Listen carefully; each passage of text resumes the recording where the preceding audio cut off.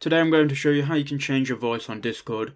Now I've already made a video showing you how you can do it with Clownfish, but this video is going to show you how you can do it with a different program for those that perhaps don't want to use Clownfish or they're just having trouble using it.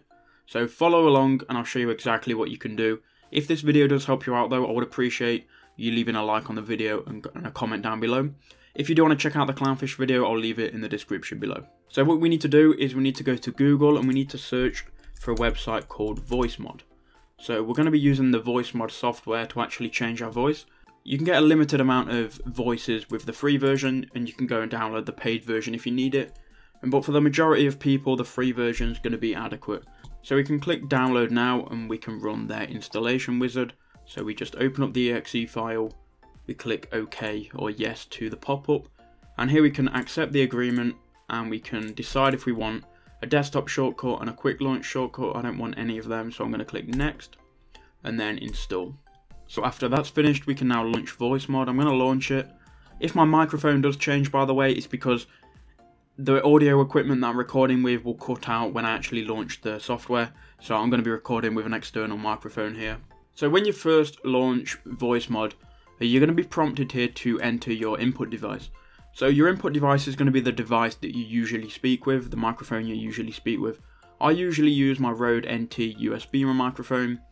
So we're going to click that one here. And then I'm going to put the output devices as my speakers. Then we're going to click next and wait for it to load.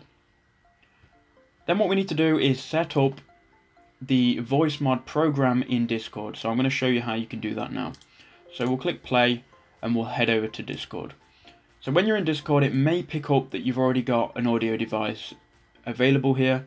Uh, I'm going to click don't switch because I'm going to show you how you can do that manually if this doesn't show up.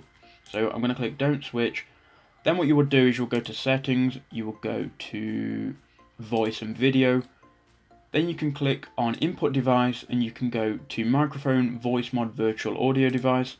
Click on that, then we can click exit and now we should have the VoiceMod set up on Discord. Now we can go back to the voice mod software and here we can choose what voices we want. We've got adult to children, ghost, orbital, out of range, sleepy, spirit, and then if you want to upgrade to pro there are all of these voices. I'm not sure how much it is but you can go and check it out by clicking this button here. You can also turn on the feature to hear your own voice. This is going to allow you to hear your voice through your headphones and basically hear what you already sound like.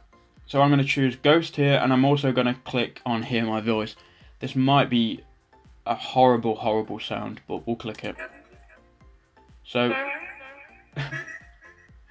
so here's the ghost voice. I'm going to turn that off.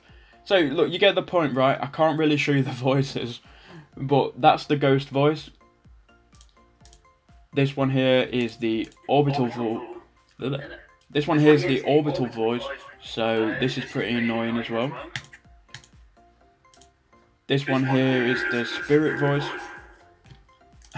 And so on. You can annoy people on Discord with these voices if you want to. That's how you can do it, guys. Make sure you leave a like. Make sure you subscribe to the channel if you did enjoy. And then to turn it off, don't forget to go and change your audio settings by going to voice and video and changing it back to your default microphone. So that's how you do it, guys. Again, leave a like if it helped you out, subscribe, and I'll see you all in the next one.